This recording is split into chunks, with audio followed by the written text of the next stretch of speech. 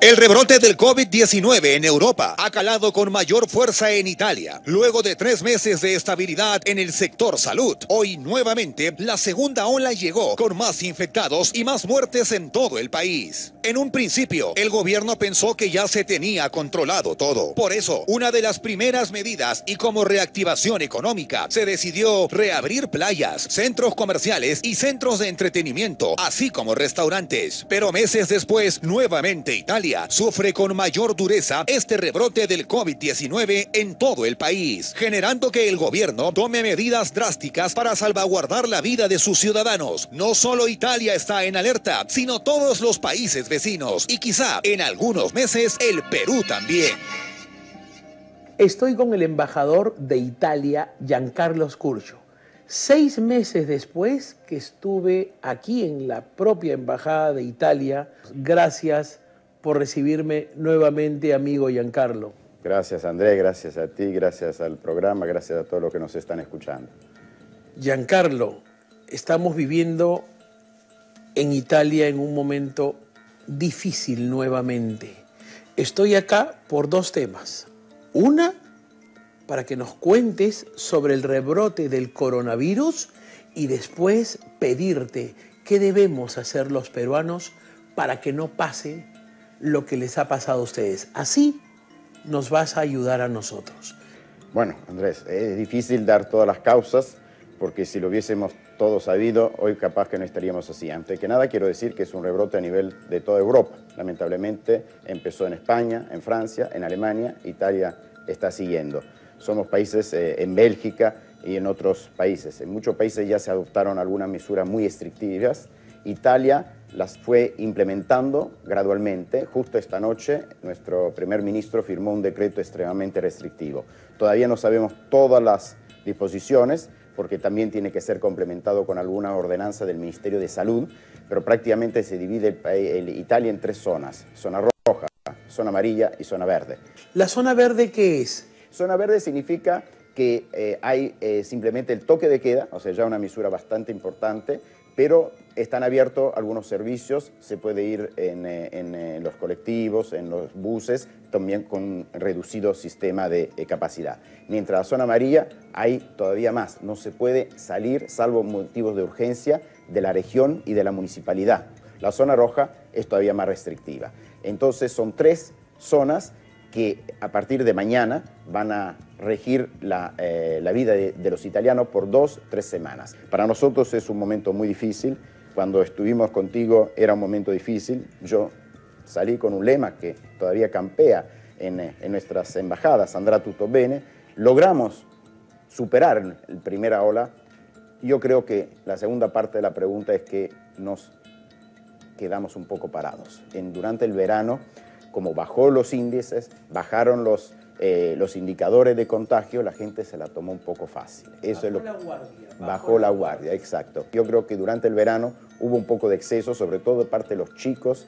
Muchos salieron al extranjero, fueron en playas, en discotecas, en zonas, también afuera de Italia, donde no había muchos controles. El comienzo del colegio, todo esto hizo de que cuando vino el otoño italiano, el otoño europeo, hubo este rebrote que lo vimos, no es solo Italia, pero empezó un poquito, el primer país fue Francia eh, y, España, Alemania, Bélgica y ahora también Italia está muy eh, preocupada. Así que nosotros estamos implementando estas medidas, medidas muy drásticas, eh, pero yo creo que se necesitaba. O sea, si no se lograba contener esta ola, si no se logra contener el riesgo que si vamos más para el invierno, la situación puede empeorar muchísimo más.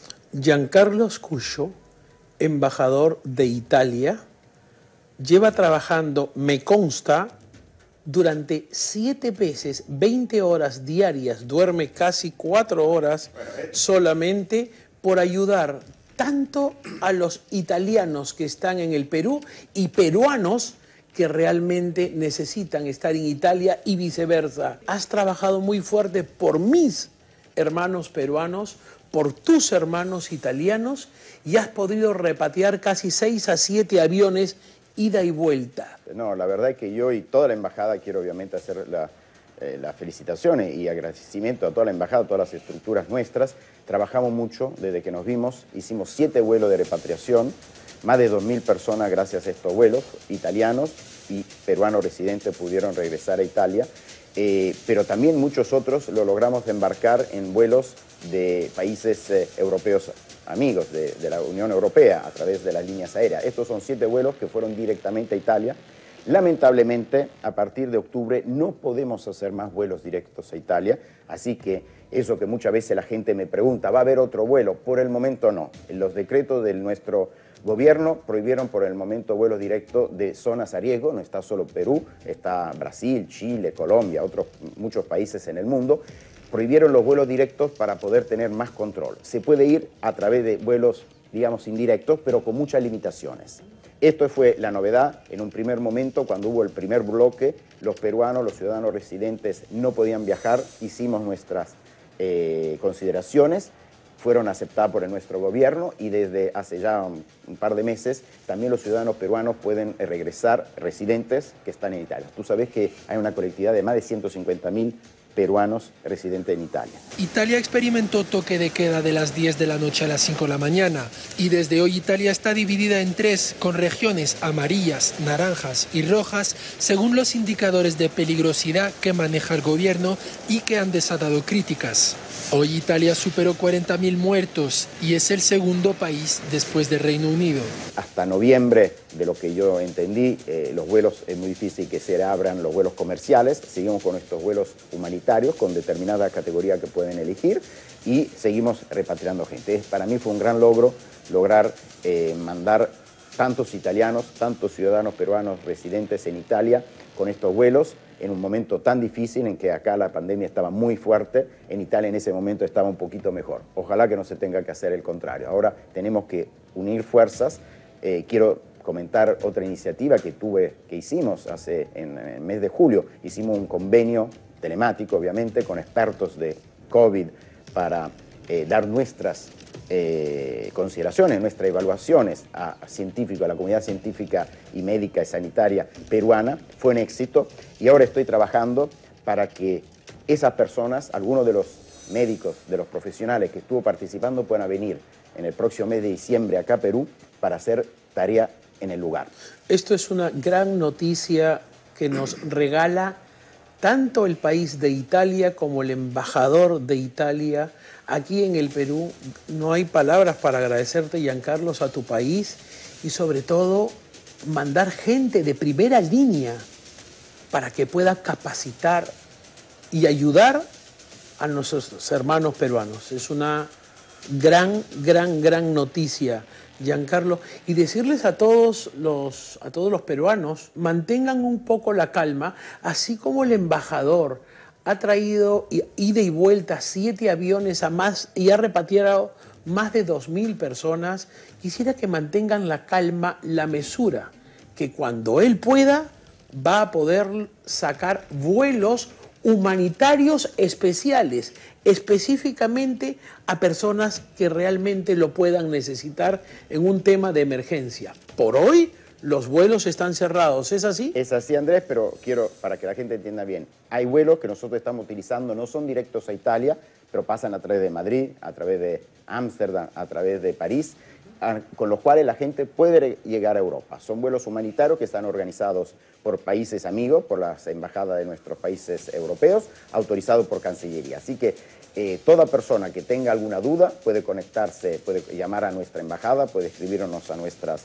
eh, a nuestros eh, mail y sobre todo puede leer nuestra página de internet donde están explicadas todas las disposiciones. Nosotros estamos acá para ayudarlos.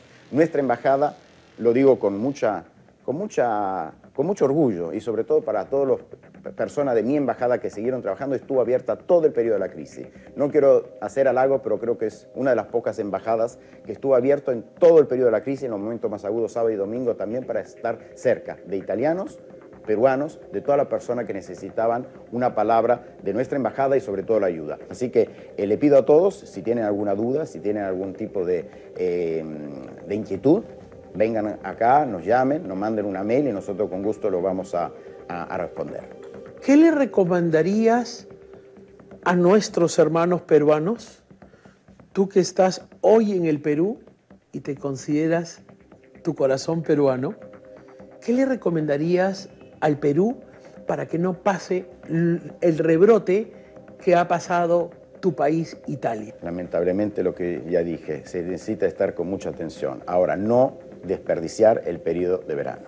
Yo creo que eso fue lo terrible en Europa, es una, es una evaluación mía, también hay muchos científicos que dijeron eso, de no perder la atención, mantener alta la guardia, mantener la distancia, mantener el uso de mascarillas, mantener la higiene. Esos son los fundamentales. Yo le pido a todos los amigos peruanos, amigos italianos que vienen acá, amigos todos, obviamente, de mantener esas condiciones, lavarse muchas veces las manos, sobre todo usar la mascarilla, sobre todo en los medios públicos, en los medios, eh, en toda zona donde hay eh, aglomeración y sobre todo no participar, como justamente hizo el gobierno, que hizo unas disposiciones bastante puntuales en esto, no eh, hacer reuniones en este momento. Se necesita un poco de de consideración de parte de todos, los sacrificios de hoy sirven para evitar daños peores más adelante.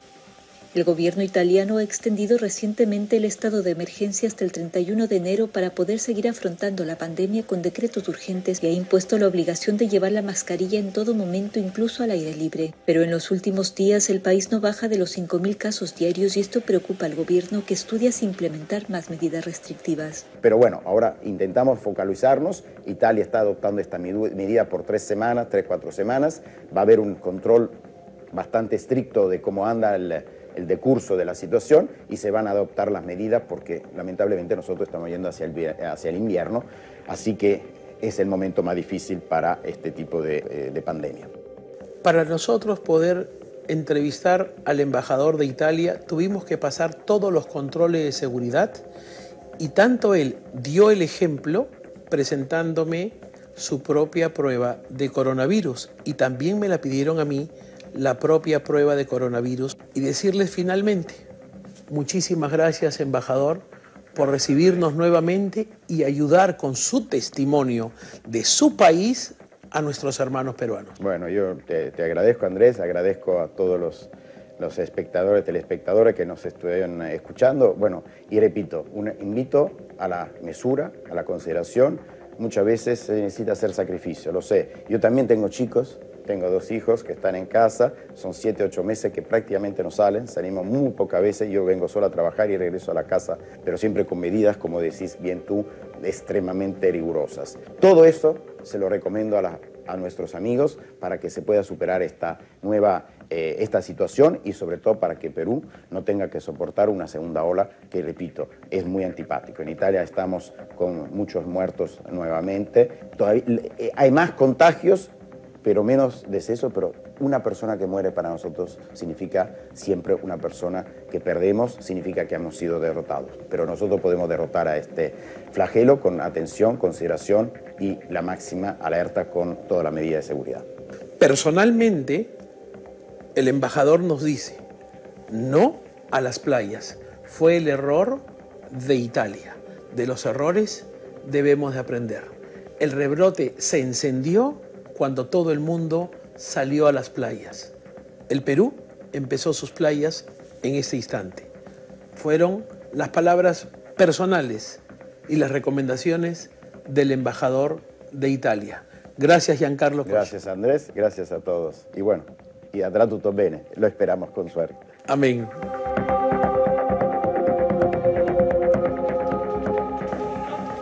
Gracias, embajador de Italia, por concedernos esta exclusiva entrevista y vamos a estar muy pronto en Italia con el embajador y con su presidente de Italia para hablar sobre los temas de Italia que nos interesan muchísimo para ver cómo vamos a tomar el país, nuestro Perú, cómo vamos a tomar el tema del rebrote y agradecerte por este libro espectacular eh, italiano traducido al español que me regaló el embajador Tomás de Aquino, un perfil histórico, filósofo, que ya empecé a leerlo. Y el segundo libro que estoy leyendo es Una razón más grande, el hombre, el universo y Dios desde el cosmos, desde Aristóteles hasta la búsqueda de la vida en el espacio, por Parlo Mucio.